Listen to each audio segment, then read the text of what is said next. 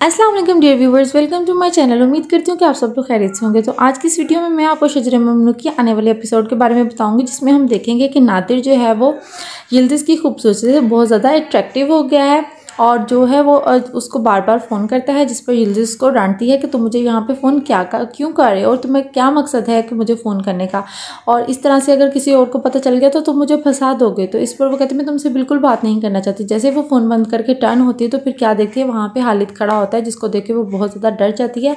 लेकिन वो ऐसा उसको फील करवाती है कि जैसे कुछ भी नहीं हुआ। और वो जो है, सारा कुछ संभाल लेती है। फिर हम क्या देखते हैं कि आलिया के घर में जब कुंवर और आलिया बैठे होते हैं तो वहाँ पर कौन आते हैं? काया और अली। और ये जो है, दोनों आपस में शादी करने लगे, यानी काया की और आलिया की शादी होने लगी है, अली के कहने पर। वो कहता है कि मैं, मेरे माँ बाप जो हैं, उनको आपस में शादी कर लेनी चाहिए। तो अब सब मिलकर कोर्ट में जा रहे हैं ताकि वो कोर्ट मैरिज कर सकें और वहाँ पर पहुँच जाते हैं और वहाँ पर काया और आलिया बैठ जाते हैं। बाकी जो है कुंवर गवाह बनेगा और एक वहाँ पर लेडी है। पहले वहाँ पर आलिया दस्तखत करती है और फिर उसके बाद जो है काया उसकी तरफ़ देखता हुआ वो शादी के दस्तखत कर देता है और अली जो है उनको देख रहा होता है। कुंवर भी काफ़ी खुश है कि उसकी बहन की अब एक दफ़ा फिर से शादी हो रही है और उसने भी साइन कर दी है। अली उन दोनों को देख रहा है और बहुत ज़्यादा खुश है। दोनों आलिया और काया बार बार अली की तरफ़ देख रहे हैं क्योंकि ये शादी कर रहे तो सिर्फ़ और सिर्फ़ अली के कहने पर भी कर रहे हैं, क्योंकि अली चाहता है कि मेरे माँ बाप की शादी होनी चाहिए और इस तरह से जो है फिर वो खुश हो जाएगा कि उसको माँ बाप का नाम मिल जाएगा। वो बहुत खुश है, काया भी अब सिर्फ़ उसी की वजह से आलिया से शादी कर रहा है। फिर हम क्या देखते हैं कि ये जो लेडी है, एक ये दस्तखत करती है और इसके साथ कुंवर जो है गवाह के तौर पर दस्तखत करता है।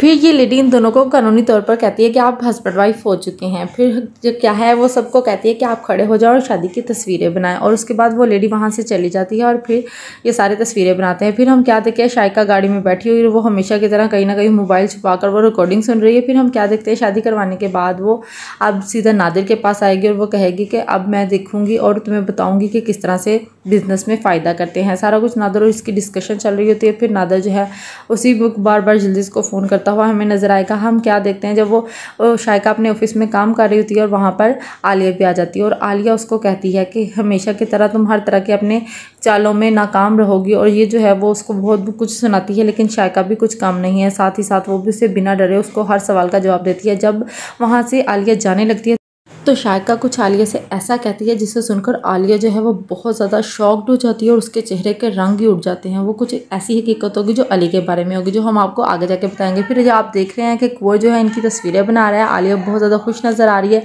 अली, कुंवर और ये सारे बहुत खुशी मनाते हैं। कुंवर जो है मज़े से तस्वीरें बना रहा है और कोर्ट मैरिज जो है इनकी हो चुकी है। आलिया और अब काया शादी कर चुके हैं। फिर हम क्या देखते हैं अगले सीन में कि अलीज़े जो है वो उसके ऑफ़िस में, हालिद के ऑफ़िस में उससे मिलने के लिए आती है। हालिद भी कुछ ऐसा ही है जैसे कि वो हमेशा से औरतों की खूबसूरती से बहुत ज़्यादा मुतासर रहा है। वो इस तरह से बहुत खुशी से अलीज़े की खूबसूरती से भी बहुत ज़्यादा मुतासर होगा और उसको वो देखेगा, जैसे कि वो उसके ऑफ़िस में बिज़नेस से रिलेटेड कोई काम करने के लिए आई है और उससे मिलकर वो बहुत ज़्यादा खुश होगा। तो इस तरह से मैं आपको बताती चलूँ कि आप प्लीज़ मेरे चैनल को सब्सक्राइब कर लें, मेरी वीडियो को लाइक और शेयर लाजमी किया करें। Thanks for watching my video